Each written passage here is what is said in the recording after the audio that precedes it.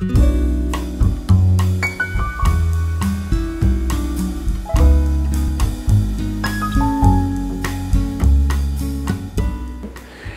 que estamos haciendo en los últimos años es un proyecto sobre la sociedad, la gente, las culturas que modelan y desde sus saberes mantienen los únicos halcón locales que hay en el planeta y que están precisamente en Cataluña, en Andalucía, en Extremadura, en Portugal, en Córcega, en Cerdeña, en el sur de Italia, en Sicilia y en el norte del Magre, fundamentalmente en Argelia, en Túnez y en, la zona berber de, Marruecos.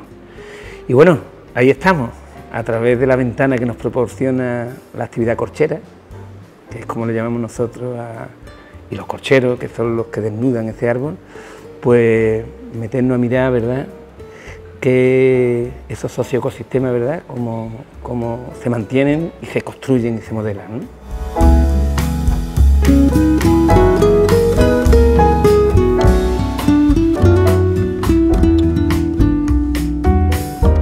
Bueno, pues os voy a presentar un resultado de, este trabajo, de lo, el segundo documental que, que co-guionizamos con mi compañero y el director de esos dos documentales. El primero fue, se llama Los hombres del corcho y este segundo se llama Kibir. Eh, ¿De qué va? El primero, pues prácticamente una etnografía audiovisual del proceso de producción de, estos peladores, ¿no? de estos corcheros en, en la zona meridional andaluza y en el norte magrebí, ¿no? en Hebel Buhachen precisamente. Lo que hacemos en este primer documental es una comparación.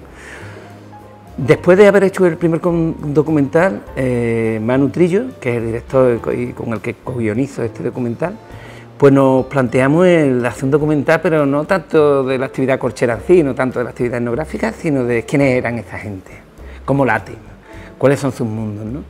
Y bueno, pues nos fuimos al norte de Marruecos y al sur de Andalucía y este documental lo que habla es de ese encuentro, ¿verdad?, desde el trabajo de gente a una y a otra orilla del Mediterráneo, en un mundo global, eh, donde los ritmos a una y a otra orilla son diferentes, ¿no? y donde la gente del campo, los camperos, ¿no? o los eselac, que son como le llaman a los corcheros allí en Marruecos, los despellejadores, que es como se traduciría aquí al andaluz, al castellano, ¿no? Mm, ponerlo en diálogo, ¿no? Y bueno, y esta película pues tiene mucho de, encuentro, ¿no? De reflexión, de, mirarnos, ¿no? Hasta que nos vemos a los ojos el estigma que tenemos unos del otro, ¿no? Va, de eso va, ¿no? Y esta película por lo que, lo que, lo que describe la vida de dos maestros, sus vidas, sus percepciones, ¿verdad? Y bueno, sobre eso.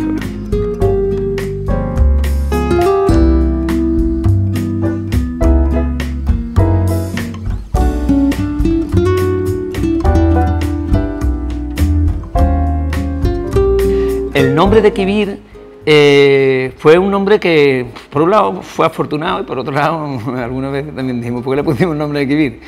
Cuando acabamos de hacer el documental, queríamos buscar una palabra que estuviera en las dos orillas. En nuestra Andalucía el río grande es el Guadalquivir. Y, en la, y en la tierra aquella, Quivir es grande. Y además en algunos contextos Quivir son la gente grande, no la gente chica. Y entonces pues dijimos, hostia, buena palabra, ¿no? Quivir es una palabra que está en las dos orillas y refiere a algo importante para nosotros, ¿no? Los grandes y nuestro gran río, ¿no? Luego también con el tiempo nos dimos cuenta que cuando ponemos el cartel y pone Kibir, la gente no sabe que se habla de corcho.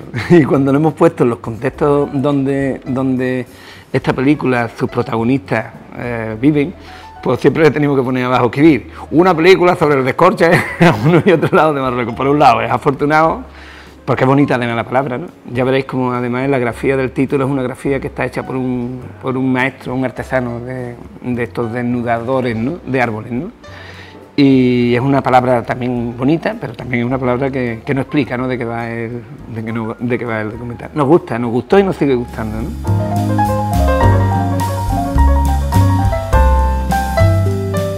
Que este documental hay que decir que, que también hace una crítica honda ¿no? a las formas de gestión del monte, sobre todo en, en nuestra zona andaluza. ¿no? Es una crítica honda además sobre la no importancia que se le da, la no importancia que se le da al saber local. A esa gente, ¿verdad?, que saben, pero sus saberes se tratan con minúsculas, ¿no? Aquí el que sabe de monte es aquel que pasa por las universidades, ¿verdad?, y se hace ingeniero o se, hace doctor en, ¿no? Y sin embargo, en los lugares, en los sitios, hay un conocimiento, un conocimiento local, ¿verdad?, que que hasta ahora, pues, ah, este documental, pues, pues plantea un discurso también, y así arranca, ¿verdad? Un discurso de disgusto, de hondo disgusto, ¿no? Eh, ¿Por qué te digo esto? Porque cuando nosotros empezamos a hacer este documental, pues mm, veíamos que no, le gustaba a nadie, no le gustaba a nadie, nadie nos lo financiaba, fue casi a pulmón, ¿no? Pero empezó a premios. Y en el 2014 se llevó un premio muy importante en Andalucía, que es la mejor obra artística y creativa, que es el premio Imaginera, y bueno, ese fue un boom que hizo que efectivamente eh, Canal Sur también se interesara y, lo comprara. Y eso, bueno, nos puso al día en cuanto a, en cuanto a los costes que había tenido este documental. Luego empezó a tener mucho, mucho éxito en cine, en certámenes de cine que tenía que ver con, con la ecología. ¿no?